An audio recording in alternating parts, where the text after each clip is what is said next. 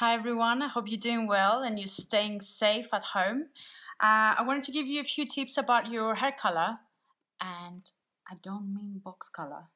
Please don't use any box color at home. Um, so I've got a few a few different options for you. So you choose what works for you and we take it from there.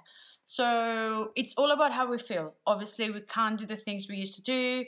It's it's all about um, about how you wake up in the morning and what you do about it. And I use scarves. So I use different type of scarves to cover your grays. It's not the same, I know, but uh, you know, it'll do. Um, use some big earrings that you like. Do your makeup. Put some cool glasses. Of course, darling. And you know, and then if you feel like this is not enough, then you've got the option of a hair mascara. This is for eyelashes. You don't want to do that.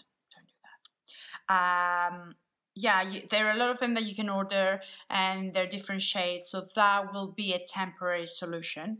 And then there are um, two products that I've got here. One is the Dark Tone Dry Shampoo from Natulique. Uh, use whichever whichever product you have at home, even if it's uh, even if it's just a dark tone spray or uh, something that has dark tint into it.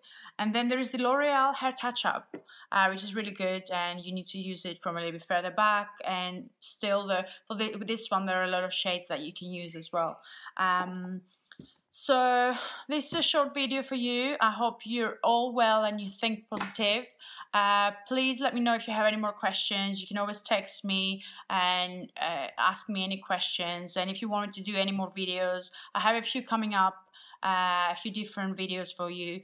Um, so don't forget to subscribe to my channel and follow my Facebook page and my Instagram. And I will talk to you soon.